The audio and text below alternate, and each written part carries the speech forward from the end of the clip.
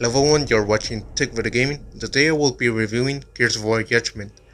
This Gears of War is a prequel that is set 15 years ago before the first Gears of War has started. We started with different characters, we play as Lieutenant Damon Baird, Sofia, Paduk, and Cole. The squad who disobeyed orders and has to explain for their actions. While playing campaign you will find this red skull disclassified, it's sort of like a challenge that you have to only use one weapon or finish the mission faster, which is completely optional. Okay, now for the multiplayer. If you cannot find players online, you can play offline with bots and with someone. The multiplayer has good set of maps, weapons, camos, and characters. But the multiplayer has like 8 locations and the campaign takes like 5 hours to complete. So I will give 7 out of 10. And that's it for this video. Thanks for supporting my channel. Have a nice day everyone. I will see you the next time. Bye.